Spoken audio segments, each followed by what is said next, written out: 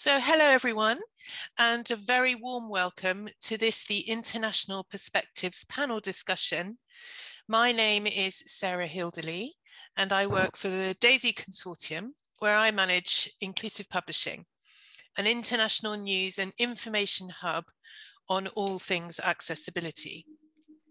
So I'm really delighted to be moderating this panel today and my thanks to the NNELS team for bringing together such an excellent group of international speakers from whom we can learn so much. So we're going to have about a 40 to 45 minute discussion here centered on accessible books and publishing in these various different markets. And we'll follow that with a 10 to 15 minute question and answer session. But before I begin, I'd like to ask our, panel our panelists to introduce themselves. Um, for those of you watching, you can find full bios on the Accessible Publishing website.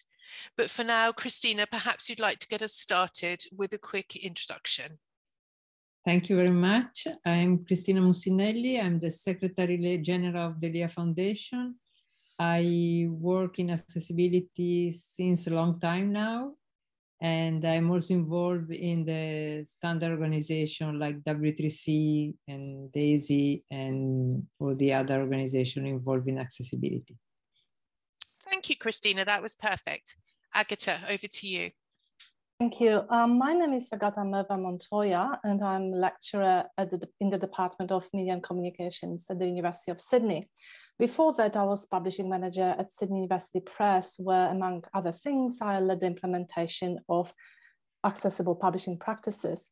And I've been involved in various accessibility initiatives in Australia, the Australian Inclusive Publishing Initiative since 2018, the Accessibility Initiative Working Party of the Institute of Professional Editors since 2020, and more recently, the Roundtable on Information Access for, for People with Print Disabilities.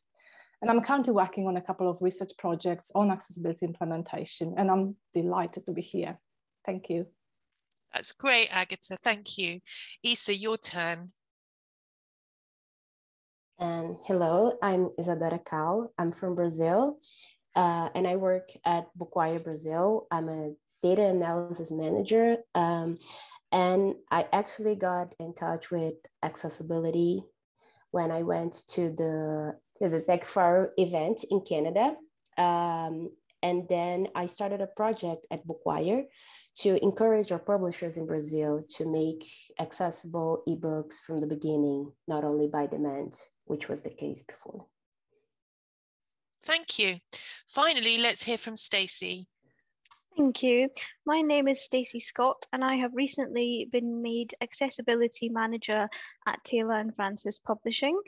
Before that, I was the service lead for RNIB Bookshare here in the UK.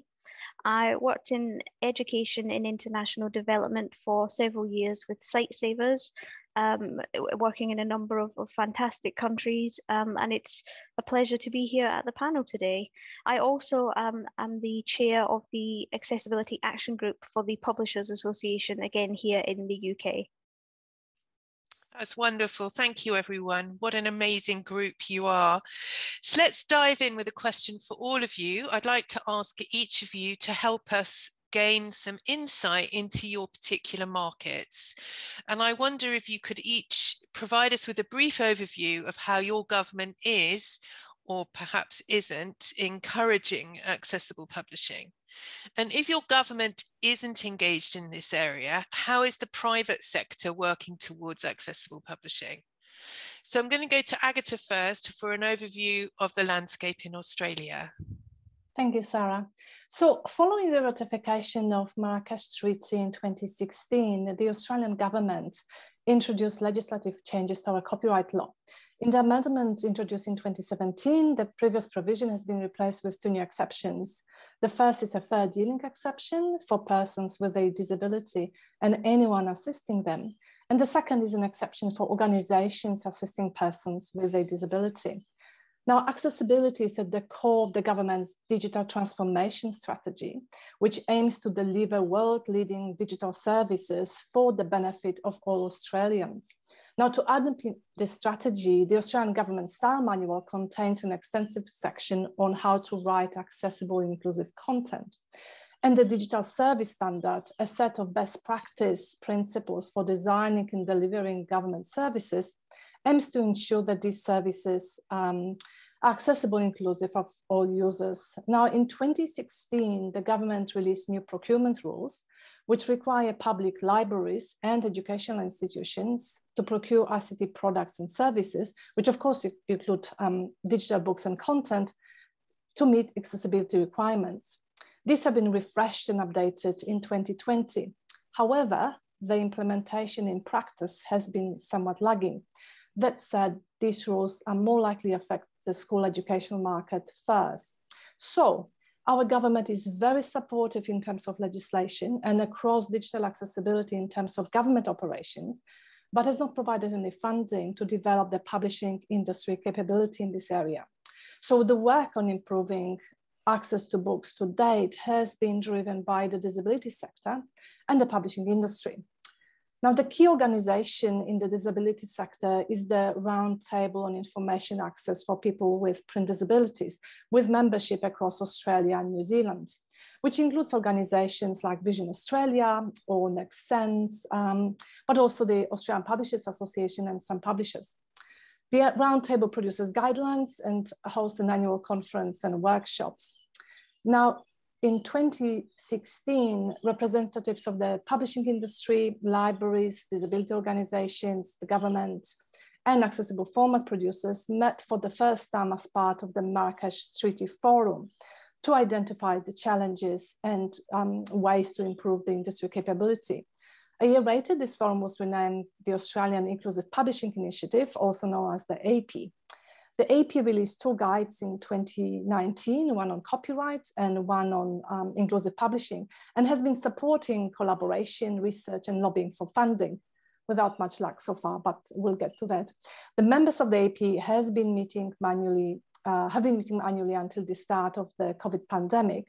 And while we haven't met since 2020, work on increasing accessibility awareness and industry capability continues in the background with the support of the Australian Publishers Association. And another key industry organization is the Institute of Professional Editors, which in 2020 formed a working party to research and create guidelines and training on editorial practices that address the needs of readers with a print disability. And apart from, the, from working on the guidelines, the members of the group contributed to revising the national editing standards to to increase discussion of accessibility among the editing professionals. So that's the landscape in Australia. Thanks, Sarah. Thank you, Agata. There's lots going on. Um, if I could turn to Isa now and ask her the same question about the publishing landscape in Brazil.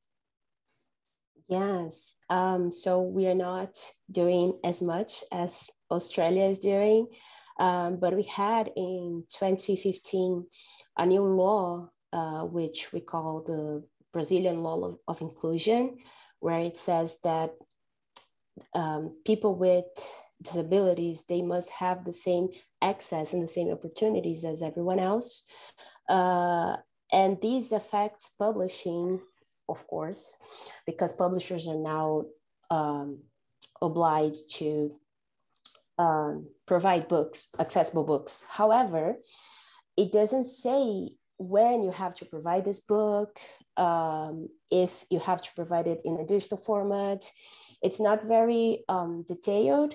And from then, it's been six, seven years since the law was was released. Sorry that I'm forgetting words in English.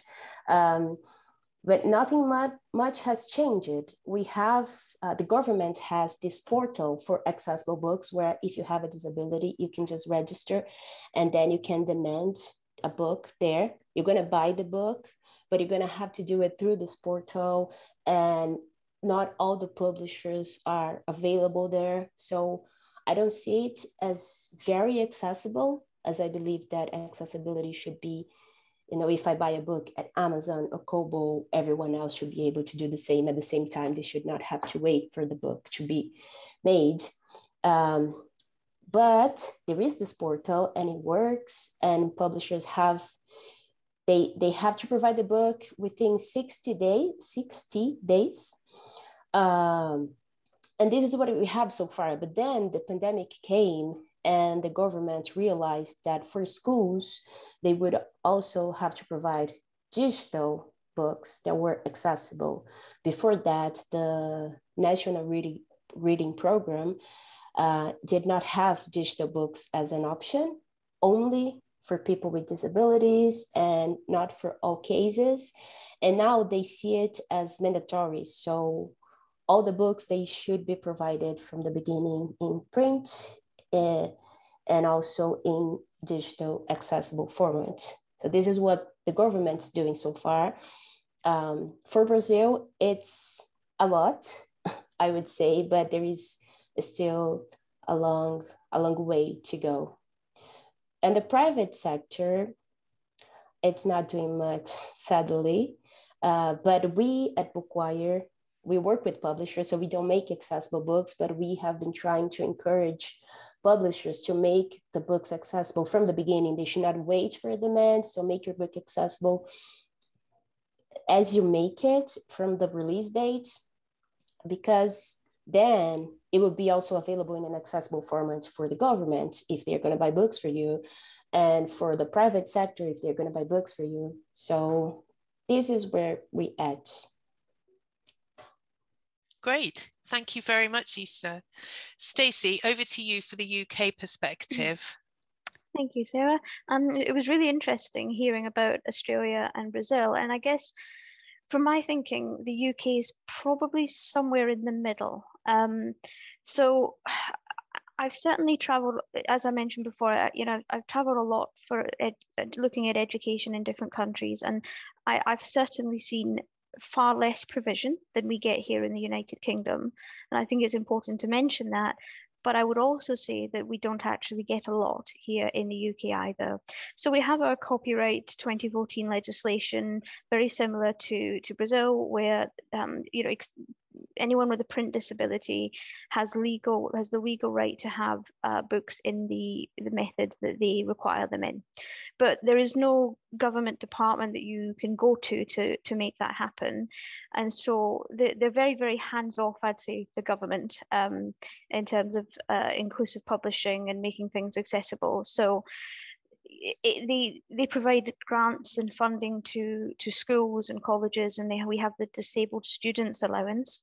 So students are very much reliant on either scanning and uh, themselves and making the book accessible themselves, or working with librarians or qualified teachers of the visually impaired and, and many others, uh, teaching staff, support staff, to make sure that they get the content that they need in the way that they need it the problem with this as well, though, is it, can be a bit of a postcode lottery. And we've heard about this a lot, particularly over the pandemic. So some schools had a lot of support um, and had, had the money they needed, had the staff that they needed. And then we heard that a lot of other schools, depending on where they were, so more deprived areas, they, they didn't receive all the support that they needed. And that a lot of children are, are falling behind, particularly those that need support with their, their reading needs. So I would say that we mostly rely on on charities. Um, we hugely rely on charities and the public sector and the private sector to get us the content that we need. So, for example, RNIB Bookshare and, and Talking Books, so that they have, I think, just over three quarters of a million books when I left a couple of months ago but that was all done through a collaboration effort between charity and publisher.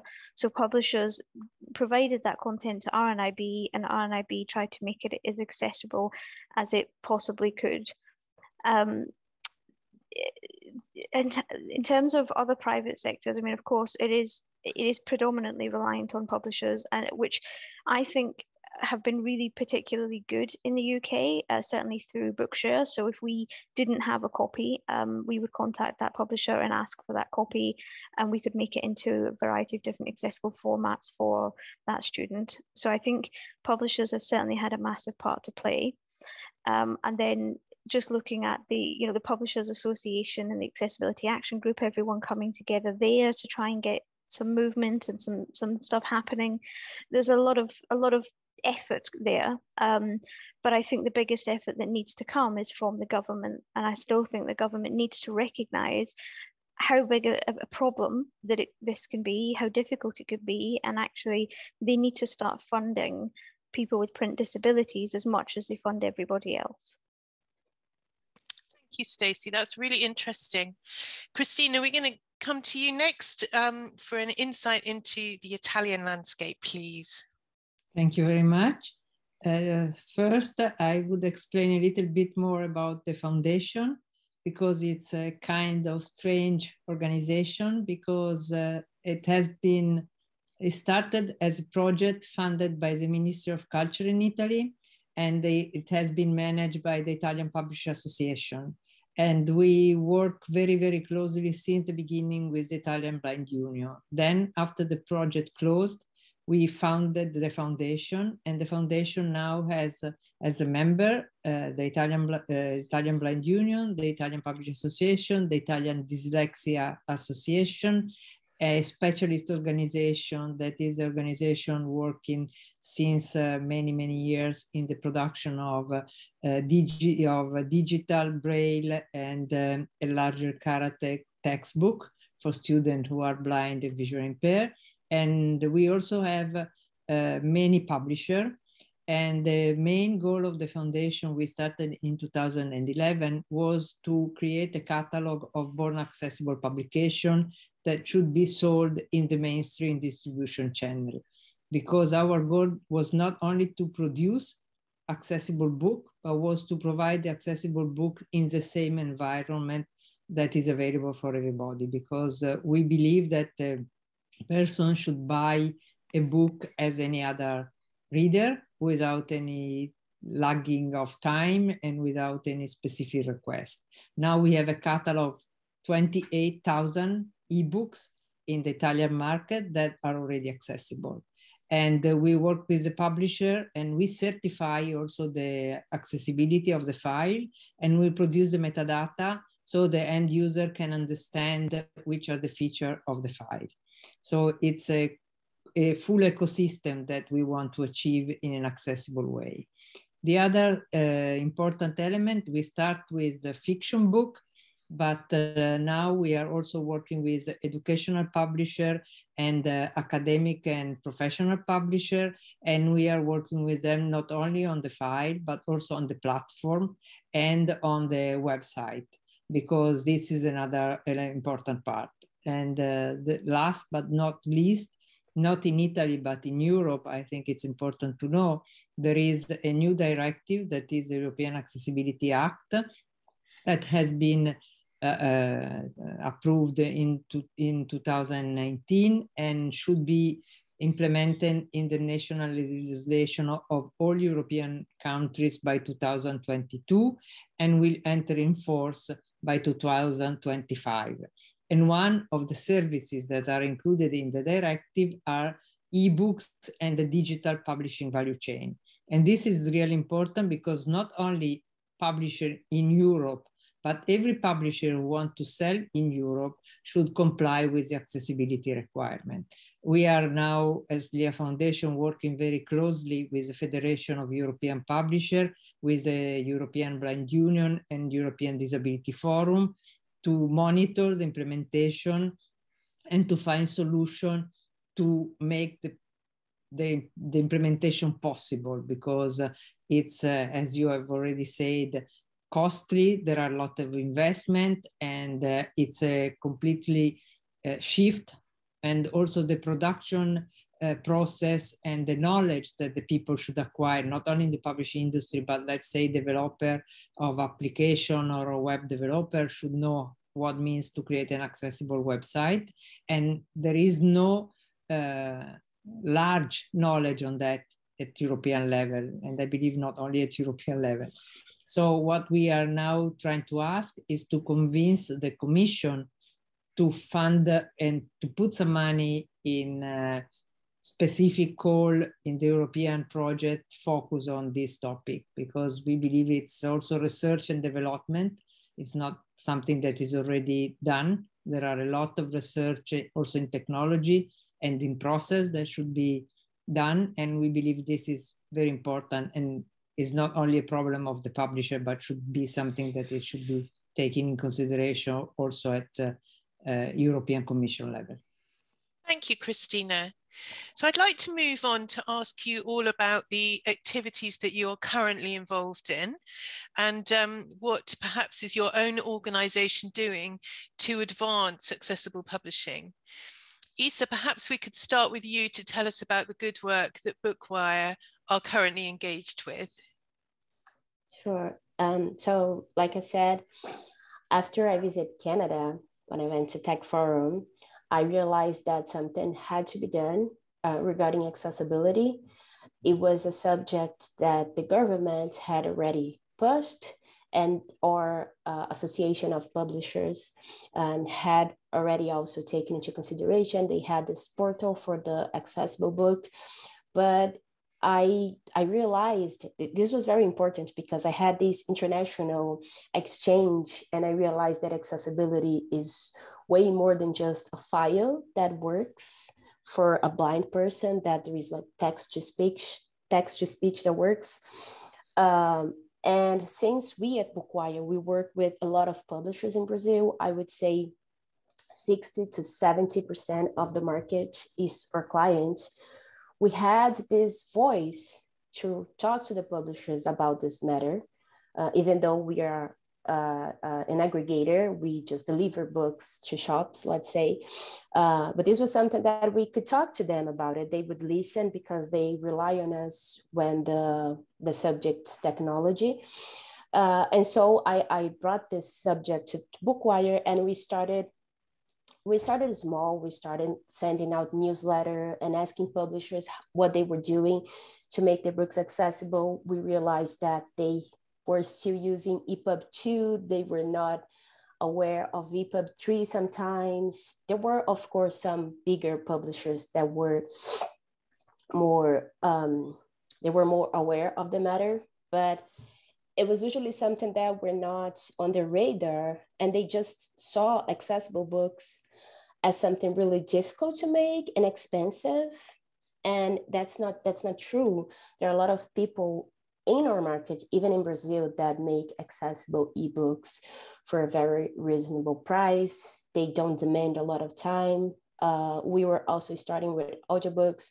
So that's what we did. We started talking about it. We start, started sending newsletter and, you know, making the subject sort of happen. And then we, we have a validator of EPUB files in our platform. And we used Ace by Daisy as um, like as a benchmark. We we used I think we used the code as an open code. I'm not sure about the details mm-hmm. of the techn- technology, but we included the validation in our validators. So now publishers are able to check if they their ebook is accessible and if it's not, where is the where's the mistake, what is missing? You know, there is like a very detailed report. And this already made a lot of publishers open their eyes to the matter because they, in order to deliver a book to any of the channels that we deliver to, they have to validate the ebook. And then you have something telling you your book's not accessible.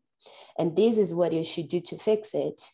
And a lot of publishers started to asking questions and they realized that it was not super expensive it, it didn't demand a lot of time. There were people in Brazil that were doing it. It was not something uh, so out of reach. So this was the first step. And we're still like taking baby steps. It's not um, as fast as I would like since this was, you know, 2019. Uh, but there is something else that we've been pushing that I think makes a lot of difference, which is making your book accessible in more places and in the same places for everyone. So accessible books should not be available on demand. They should be available at Amazon and Kobo and Google and Apple and Storytel, Scribd, whatever. They should be available for everyone in all business models. In libraries, um, we have a very different library market in Brazil from all the other countries. I, I assume we don't have the same culture, uh, but this is something that has been changing slowly, especially since the pandemic started. And the library business is growing. And we've been talking to publishers that you should also make your books available at libraries because we have we have blind people, people with disabilities. It's not only visual impairment, but there are other kinds of things that can can make a person uh, need an accessible book and they won't be able to access this book because you know brazil is a very huge country and we have a different um, reality in some places you know there are some places that you're going to have bookshops and you're going to have libraries and everyone has access to the internet but if you go to other places there is no internet or there is no bookshops and amazon will take i don't know days weeks to deliver a book for you so you have to make books accessible there as well, you know. Um, so this is this is what we are doing. We are starting the conversation and making the publishers aware because they are the ones making the books. So they are the ones who have to take this step to make the books accessible. And I think they they didn't understand how to do it. They didn't have the information. So they didn't do it and we are trying to get this information to them to show them that it's not that hard it's totally worth it there is a social reason but there is also a bunch of readers that you're not reaching because you just you just don't want to you know you could make a small effort and have this whole new bunch of readers you know reading your books um, so yeah this is what we're doing that's wonderful. And it's great to hear about um, Bookwire tackling the challenge of informing your publishing industry in Brazil and indeed offering the ACE by DAISY validation option. Always pleased to hear about that. Stacey, you wear many hats, I know, but we'd love to hear about the work that Taylor and Francis are currently engaged in, and um, perhaps you could spend a few moments telling us about that. Thank you. Um, so I, I think it's been quite a, a, year or two for Taylor and Francis, and they've certainly done a lot to um, make their content more accessible. Uh, they've employed me. I don't know if you would class that as a good thing or not. Um, so bringing me in as accessible uh, accessibility manager is one of the, the key things that they've done recently to ensure the continuation of all the accessibility work it, that it aligns with the overall strategy of the uh, com company-wide strategy uh, of inclusion and uh, making sure that the inclusive uh, practices and inclusive content is is is across absolutely everything that we do, both in-house and externally. Uh, they basically you probably know that last year they had they received a 100% Aspire score for their corporate accessibility statement, um, so this describes what they're doing in terms of accessibility and inclusive publishing, uh, what tools they use, and most importantly, how you can use them. Um, and the, so 100% that was up from I think it was about 71% the year before. So they really did put a lot of work into making sure that they they, they made their accessibility statement as clear as possible they also decided that wasn't enough and they gone ahead and won the ABC Gold Standard Award as well for their work in accessible publishing. They uh, partner three of the uh, key uh, how do we say we don't say libraries but organizations um, across the world so RNIB Bookshare so that's Bookshare UK Bookshare US and the AccessText Network and through there they've uh, those three partnerships, they've made sure that over 50,000 books were downloaded just last year alone. Um, and that was over 30, 37,000 books.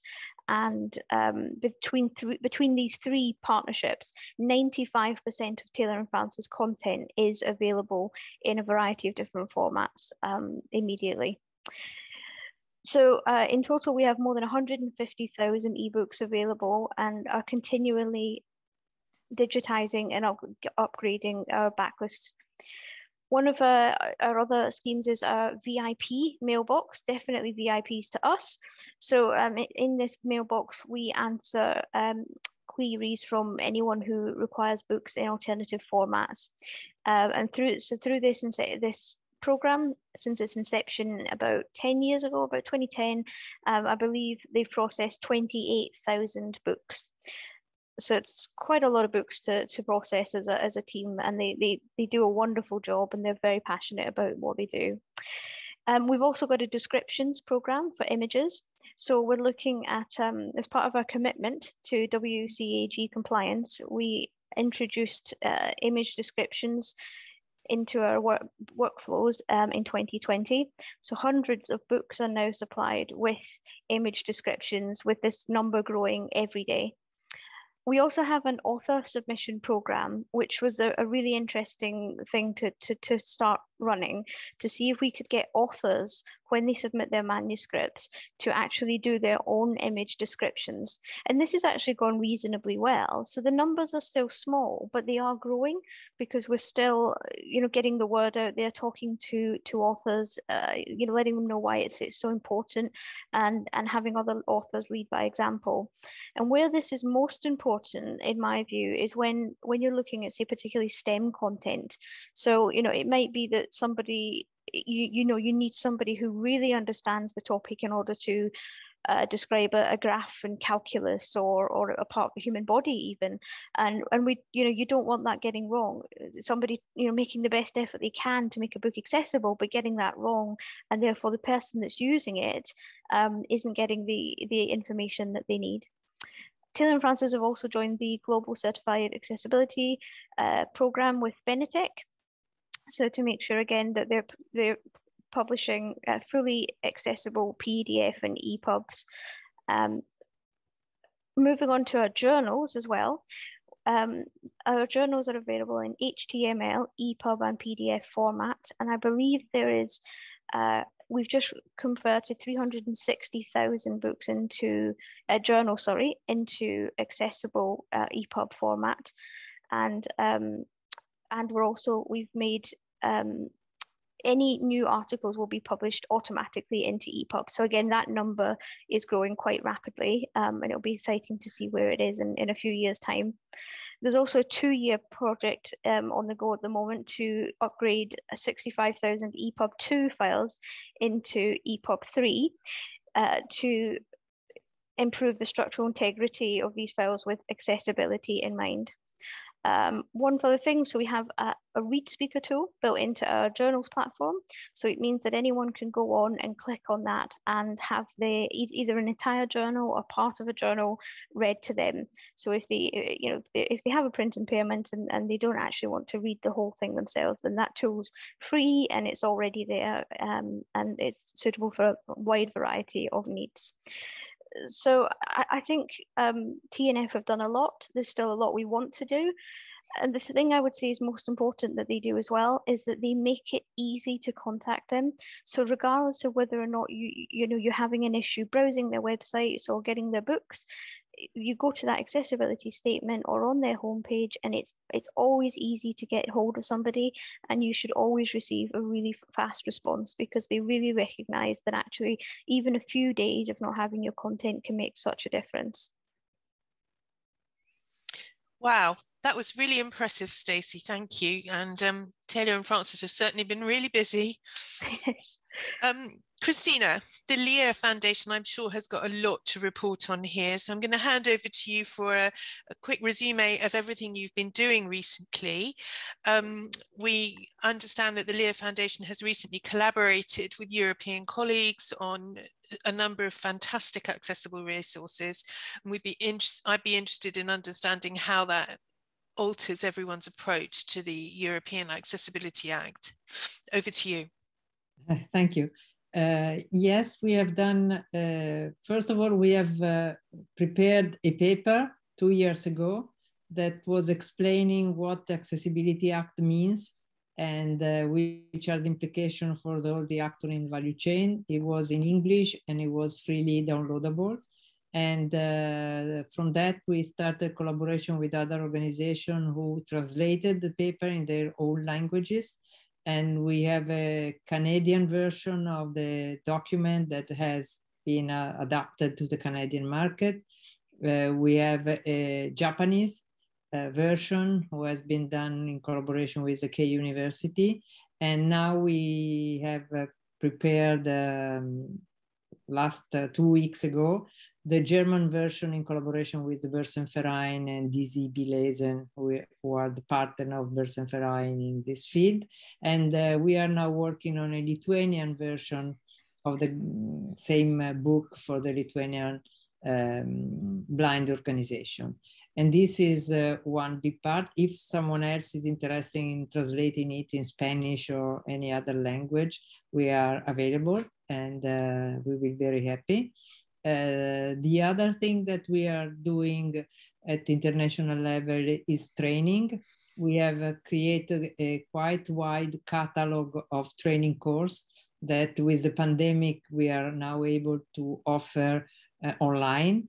And uh, we train uh, on many different aspects from uh, raising awareness and explaining which are the general issue to very detailed uh, and long training course on how to use uh, InDesign, Word, and all the other tool to create accessible publication within the production process. We are quite, we have a quite strong knowledge in the production process in publishing because we are from the Publisher Association. So we understand how the publisher create and which are the issues they face we have an image description training program uh, to explain all the things that Stacy is playing very well. And um, we are working also on some uh, training course on the workflows and the production process. That is another element that is really relevant. We also do some uh, um, event to raise awareness in book fairs and uh, festival and we are now part of European project of the network of European uh, fairs. And uh, we manage within this uh, uh, project that is named Aldus Up all the activity of the most important European fair focus on accessibility. And we recently have released um, a research that we have done within this project to verify the accessibility of book fairs. Uh, there was uh, Frankfurt, uh, Turin, uh, Lisbon, many different fairs, both in terms of physical accessibility, but also digital and uh, communication accessibility. And uh, an article will be published very soon on the Aldus Up website. So what, and the other thing that we do a lot is consultancy and support uh, for the publisher. We also use the DAISY tool. We have embedded that in a platform that we have that is uh, an automated process to verify and certify the ebooks from the publisher and also to create the metadata on accessibility in an automated way.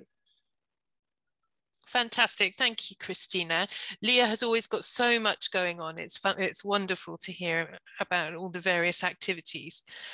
Agata, last but not least, I'd like, um, we'd like to come to you. And if you could take a few moments to tell us about the surveys that you recently conducted and how this informs the, your activities in Australia, that would be wonderful. We are running um, fairly close to the end of the session. So if I could ask you to be reasonably brief, and then I think we have time for one more question at the end.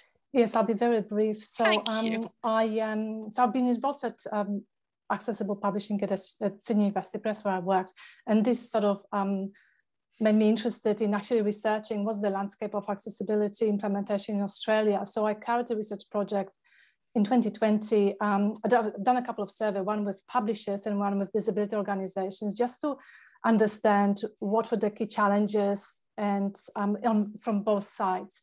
So I um, don't want to go too much into the details. You know, I've got reports online that can be read, but basically it shows that there is, um, publishers are producing digital books, but they are not making, they're not sure whether they are accessible. So their awareness and, and is limited. So there is, um, you know, the demand for, for, for training and, um, and more knowledge.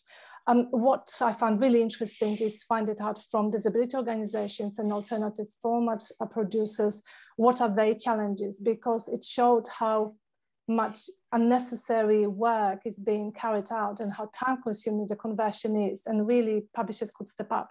And, and this survey sort of um, resulted in some really um, key suggestion that could be implemented short term by publishers, like improving response and turnaround time for providing files, um, having contact on the website, providing the, the correct files in the first instance, and um, and just having a policy on the website. And you know it's like what Stacey mentioned that Taylor and Francis has.